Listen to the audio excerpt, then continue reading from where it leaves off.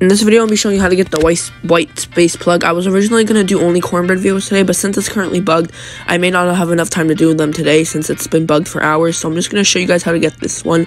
Some people were asking for me to make a video on this one, so I'm just going to make it, get the pickaxe from the bush and then open the fossil area. And then there's sometimes, not always, there should be a white button it appears randomly and it's sometimes rare for it to happen in servers. It might take a little bit to spawn. Luckily, on my first try, I was able to find it.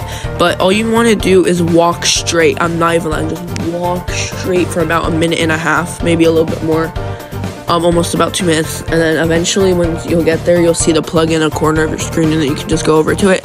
Um, yeah, that's all you need to get this plug. It's really easy if you knew actually how to get it, which is why a lot of people didn't get it because it was really annoying to find. But luckily, I'm here to show you guys how to get these, like I always do. Uh, I won't be doing a lot of videos on Find the Plugs because I'm not really interested in the game. Not that it's a bad game, I just don't feel like juggling another Find the Game because I'm doing platinums, doggos, kittens, markers cornbreads, you know, all those ones. I'm already doing so much. Phantoms, jellies. But once you get to the end, it should be there. You want to touch it, and you should receive a badge at the bottom of your screen, and it should appear in your decks as the really hard category. So make sure to like, subscribe, and turn post notifications.